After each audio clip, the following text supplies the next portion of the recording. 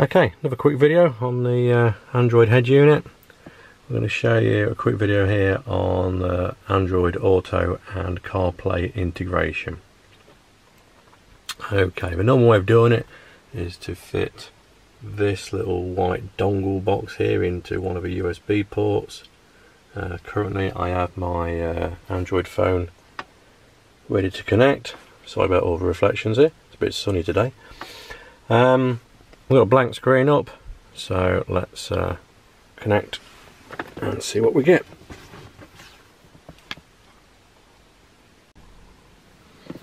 Okay, let's connect the Android phone up and see what we get. Plug it in, open the phone.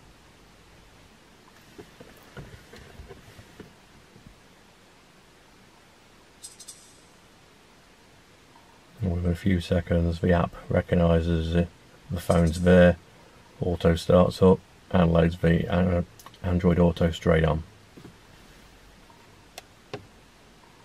Straight to music player.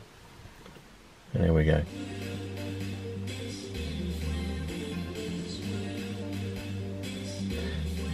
Now, that there are no there is no way to alter the screen resolution in Android Auto on this uh, application.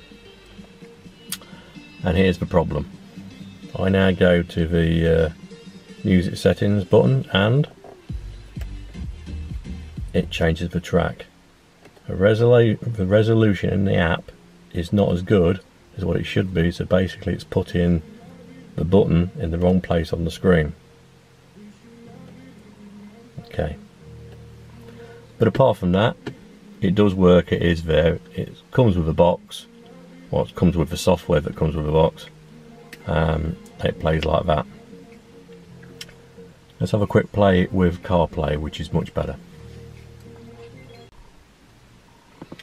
Okay, I've changed over to the white cable for the iPhone. Plug it in. Don't even have to open the phone up.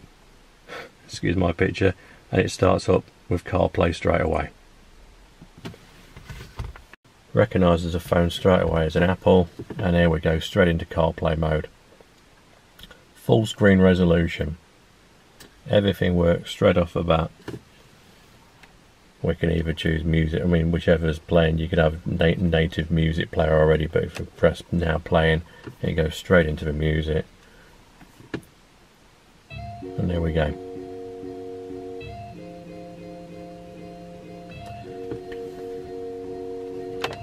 oops. Press the wrong button. There we go. Home button down the bottom there. That's Siri. Try again. Home button down the bottom there.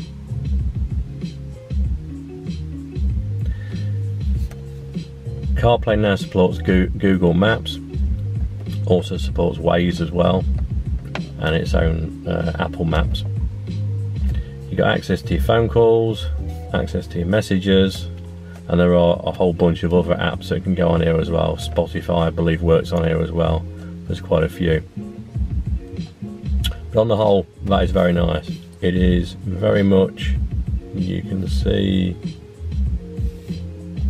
your touch screen is right spot on right to the very edges of where it needs to be so it is definitely working properly in CarPlay mode that is a really good app and the buttons on the steering wheel work just as well as well okay the Android cable is now plugged in back into the uh, the other USB port got my cable got my phone plug it in, open my phone, and away we go.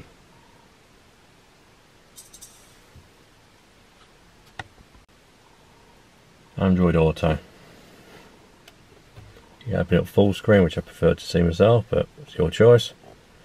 Play music, and away you go. Steering wheel buttons work.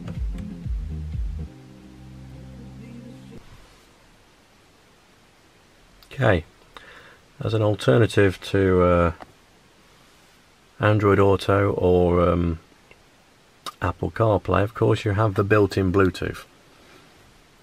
There we go.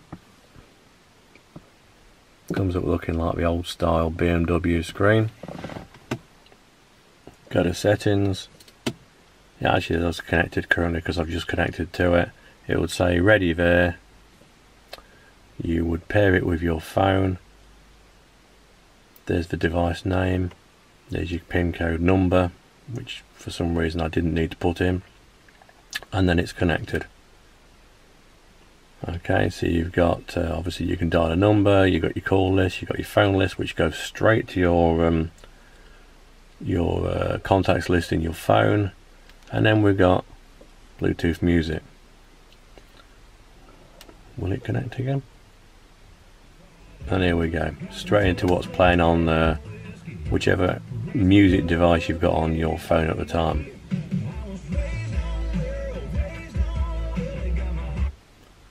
and again you've still got your steering wheel controls as well through that. So that's another option if you don't want to do it that way.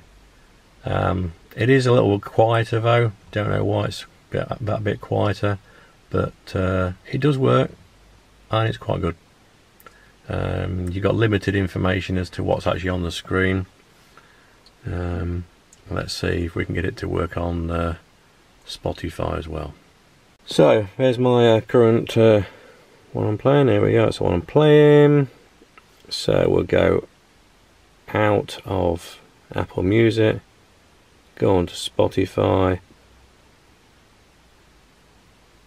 press play, shuffle, or whatever comes up at the time, and here we go, swapped over. So it plays Spotify, it plays Apple Music. Let's try another one. So we can get. Amazon Music. Oh, it's come up on the screen. Let's have a look so we can play. Play a bit of George Ezra. And there we go, shotgun. So, it plays Apple Music, it plays uh, Amazon Prime, it plays uh, Spotify. If I get copyright, so yeah, right, so what else have we got on here? I know I have got something else on here. And we have Google Play. Let's see what we got. Let's throw some random stuff on. Play the first one on there. And there we go as well. So that's compatible with everything on the on your phone as normal. So uh, there's another option if you don't want to pay out. I mean that little box there, that is about £30 give or take here in the UK. Um, yeah, it's worth it. It's it's worth certainly worth it for CarPlay. That is a very nice application on on the screen. Um, the Android Auto side of it with my own phone, well, Android Auto side of it with my own phone doesn't really uh, look that good on the screen, but the additional app, um, which is a standalone one, the actual real one from from the Google Play Store does not work on this head unit but uh, I've loaded uh, head unit reloaded which simulates Android Auto and that's the one that was shown earlier and it is absolutely spot on, it's perfect. So uh, choice at the end of the day is yours depending also what platform you want anyway. Thank you.